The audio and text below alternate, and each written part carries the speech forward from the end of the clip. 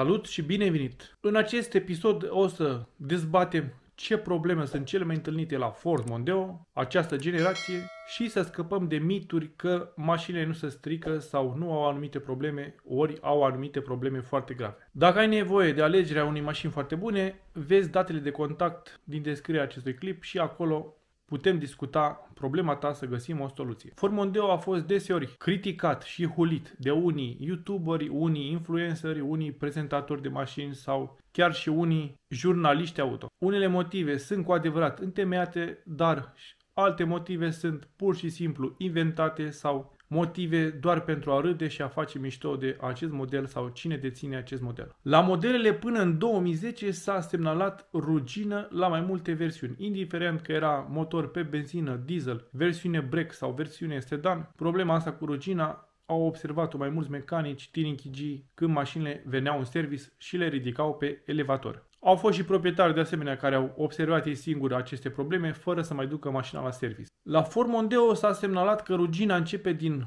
zona punții față, aripi și se duce către zona punții spate.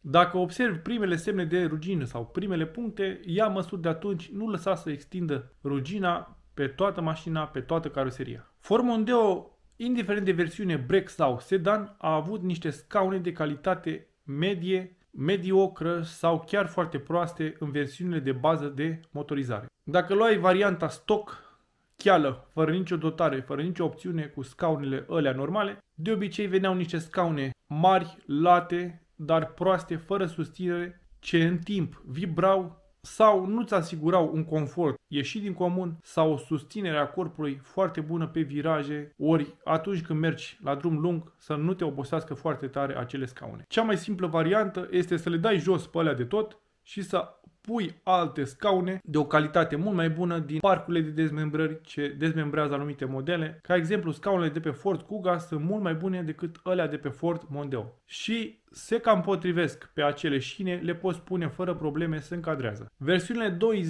diesel au avut uneori pierderi de ulei. Pierderi de ulei veneau de obicei din zona turbinei, dar au fost și oameni ce au avut ghinion, au fost și oameni ce au avut baftă nu toți au avut asemenea probleme cu scurgere de ulei la motoare diesel. La partea de articulații și cum este mașina construită, sunt probleme la caseta de direcție, joc în direcție, și capetele de bară fragile. Dacă cumva o să ai probleme cu caseta de direcție, pune alta nouă, nu te mai juca să iei alta din dezmembrări, să plătești de 2-3 ori manoperă, că alea din dezmembrări nu te țin foarte mulți kilometri și dai de 2-3 ori manopera pe la service, făcând prețul să fie mult prea mare pentru asemenea operațiuni. Motoarele pe benzină, versiunile de 203 și 240 de cai putere, au avut o problemă cu benzina de calitate proastă. Cauza principală era că distrugea pistoanele se fărâmau. Dacă cumva deja ai cumpărat aceste versiuni de motoare sau vrei să cumperi, fii foarte atent la calitatea benzinei folosite. Citește cartea mașinii tale și vezi și pe acel căpăcel de la rezervor ce benzină trebuie să pui pentru acel motor. Partea cu pistoanele este și o problemă de fiabilitate, dar oamenii ce puneau benzină de calitate foarte bună și conform cărții mașinii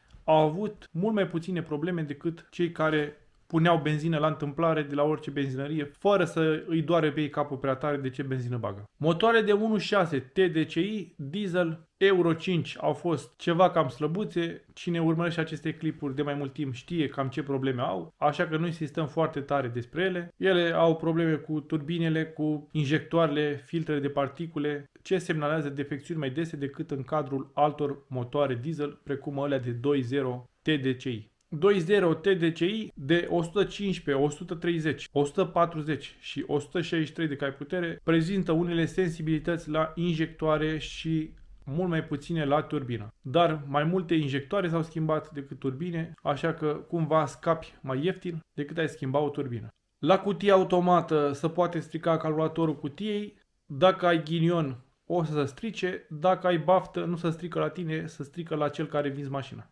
Revizia trebuie la fiecare 60.000 de kilometri, iar la portbagaj, la versiunile break, s-au observat infiltrații de apă, pătrunderea ale apei, mai ales atunci când era ploaie torențială, ploaie foarte puternică. La ploi de ăștia mai mici, mai mărunte, sunt șanse mai mici ca să găsești apă în portbagaj sau infiltrații, dar la ploi puternice cresc șansele de a găsi umezeală în portbagaj. În cazul în care observi umezeală la portbagaj, verifică foarte bine chedrele mașinii și spațiul acela de la lunetă, puțin geamul și să fie apa infiltrată chiar pe la geamul lunetei.